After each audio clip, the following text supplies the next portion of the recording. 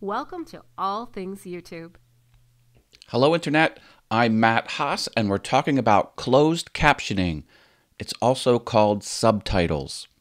Thankfully, YouTube adds these to your video automatically, or what I like to say, auto magically. This course is about things you need to do, and if that was the end of the topic, we could stop the video right now, but you do need to do something. Before we get into that, let's talk about why closed captioning is important. First, someone who is hearing impaired can read the words on the bottom of your video, and that helps them engage in your content. So you should do that for that reason because it's the right thing to do. Also, people who can hear just fine will sometimes turn on captions when they're watching your video, like on a cell phone, for example, and they're on a noisy subway or they're at a bar and they're having trouble hearing, or they just don't want um, to broadcast it very loudly to the people around them. So it's a convenience factor. But again, you need to take some action. And what I'm recommending is to edit the closed caption that YouTube puts on your video and correct any errors that happen to be there. Thankfully, YouTube's closed captioning is some of the best in the world. Their automatic closed captioning is some of the best in the world.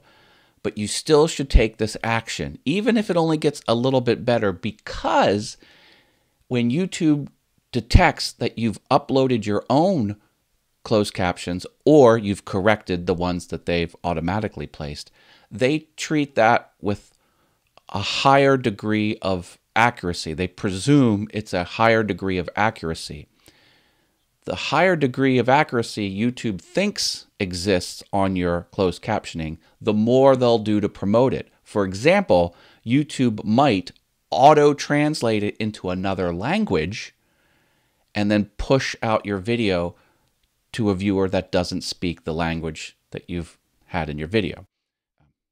So, all things the same, if your video was uh, identical to someone else's video in quality and YouTube, for whatever reason, said this is probably a good topic to put in front of this potential viewer, and yours had closed captioning, and this one only had the automatic closed captioning, yours might get the click. And it's all about moving the needle. I'm not saying if you do this step, you're going to be instantly successful, but it will make you just a little bit more likely. And it's a numbers game. All right, so let's figure out how to add closed captioning to a video that you've uploaded. After you've uploaded it, there'll be a short amount of time before the automatic closed captioning shows up. How much time? It's hard to say. A couple minutes, could be an hour. Depends. I think the system sometimes gets backlogged and it happens faster in some situations. But let's take a look. So here are a bunch of uploaded videos. It's the videos for this course. Um, on my video list, we'll go into a particular video and then all of these items are now related to that video. They're not channel wide. And one of them says subtitles. Click that. And here you've got two lines at the top one is for the automatic stuff, and another is for the stuff you add. Like you can see, I've added my own title and description, and it knows that, published by creator.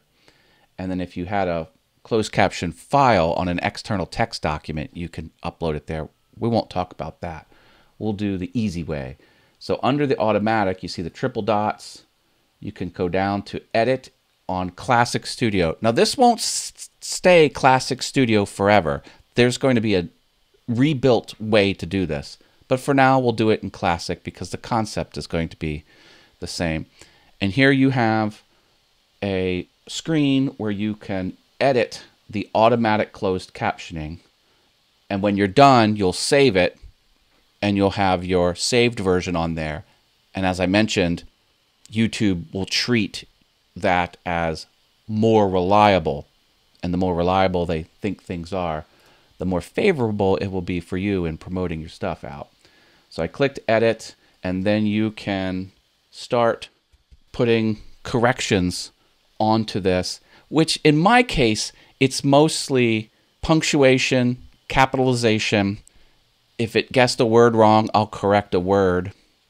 And um, it, it seems very minimal. But again, just the fact that you've done it, YouTube will treat it with higher accuracy. You can play along the video, Welcome to All Things YouTube. listen to what it's saying against the captioning down here. Now you'll notice it'll flip. See it flip to that statement. And I just go through and I never gets my name spelled right.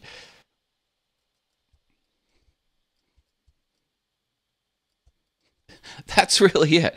I'll just keep doing that over and over again until it's finally completed and then save it. All right. do that. Do that. I know it takes time. However, there are third party services that will take your video and they'll do all of this for you. They'll give you a text file and you can push it up there pretty easily. At the time I'm creating this video, those services were about a dollar a minute. So if that's something you want to invest in, go ahead and, and do that. All right, we'll leave it here. The next video is always on the top, and one on one consulting is a premium service. That's at wizardofhaas.com. Thanks, Internet. If this was helpful, drop a like. And do the closed captioning. Do it. Give yourself the advantage. All right, we'll see you in the next video. Thanks.